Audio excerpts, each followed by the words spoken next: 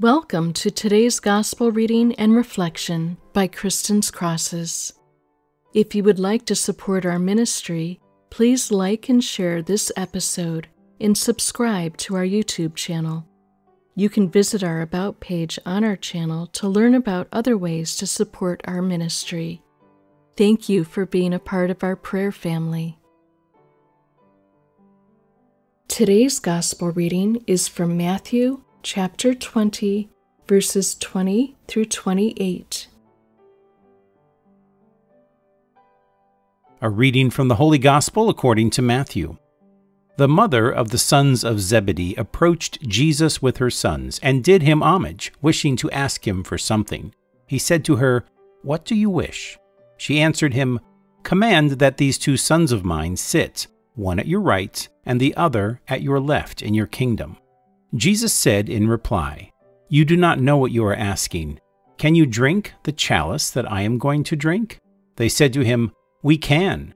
He replied, My chalice you will indeed drink, but to sit at my right and at my left, this is not mine to give, but is for those for whom it has been prepared by my Father.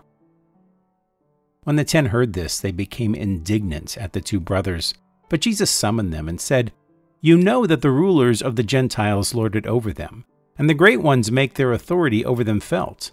But it shall not be so among you. Rather, whoever wishes to be great among you shall be your servant. Whoever wishes to be first among you shall be your slave.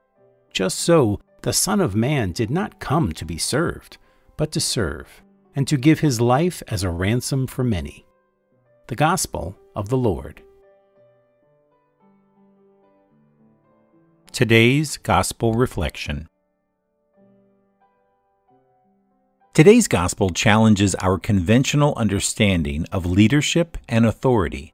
Jesus presents this radical vision of leadership that is rooted in humility, service, and self sacrifice, which was not only contrary to what the Jewish people were expecting back in those days, but I think it's also contrary to what we expect from our leaders today, or at least what we experience Greatness is not found in seeking positions of power or honor, but in serving others with a selfless heart, just as Jesus exemplified through his own life and ultimately through his sacrificial death for us on the cross. Of course, this prompts us to examine our own attitudes towards leadership and influence. Are we driven by a desire for recognition, power, and self promotion, or are we committed to serving others and placing their needs above our own?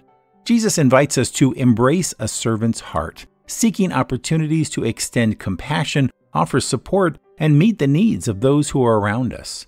Furthermore, this passage challenges our understanding of what greatness and success truly means. The world often measures those words by fame, awards, money, and positions of authority, but Jesus is calling us to a whole new standard. He teaches us that greatness lies in humility and service, and the true mark of a leader is found in their willingness to sacrificially give of themselves for the sake of others. May we seek to embody servant leadership in our own lives, recognizing that our true calling is to humbly serve others and reflect the love and selflessness of Christ. And so today, let's pray that we will prioritize the needs of others above our own desires for recognition or honor, and may our lives be a testament to the transformative power of servant leadership.